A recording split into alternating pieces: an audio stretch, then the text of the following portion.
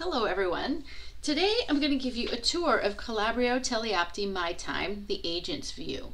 So after you sign in with your SSO, you'll see, the first view you'll see is your work week.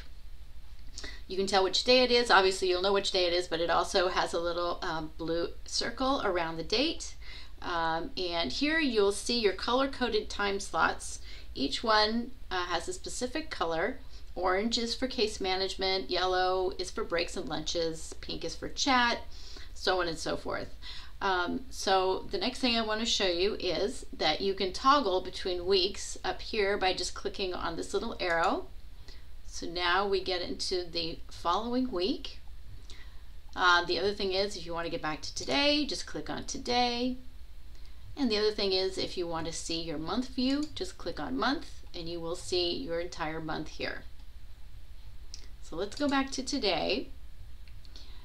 So the other thing I wanted to show you are these little messages here, these little icons up here. This one indicates that you've got messages or requests that are pending.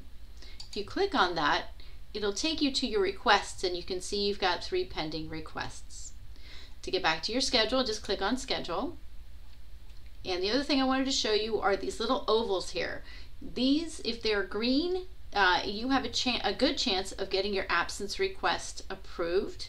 Uh, if they are orange, you have a fair chance, and if you see a red one, you've got no chance at all. Um, so what happens when you click on one of these?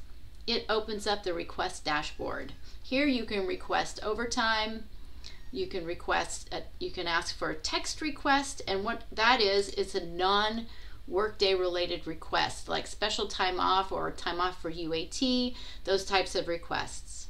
And here you have your absence requests and your overtime request. I apologize, I said this was overtime request. This is actually where you can check overtime availability. So that is the tour of your dashboard.